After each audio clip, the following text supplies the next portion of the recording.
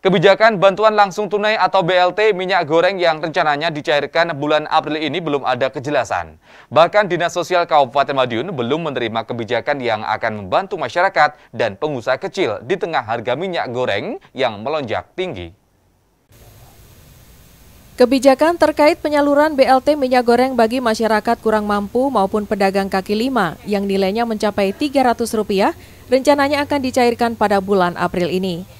Namun hingga saat ini Dinas Sosial Kabupaten Madiun belum menerima turunan surat dari pemerintah pusat terkait petunjuk pelaksanaan dan petunjuk teknisnya.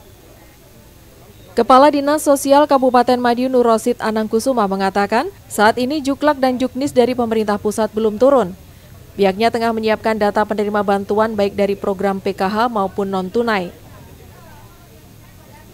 Hal itu untuk mempersiapkan sinkronisasi data calon penerima BLT minyak goreng bantuan apa BLT minyak goreng kepada KPM PKH maupun BPRT Dinas Sosial saat ini masih menunggu petunjuk pelaksanaan maupun petunjuk teknisnya sehingga nanti kalau sudah ada nanti akan kita tidak lanjuti.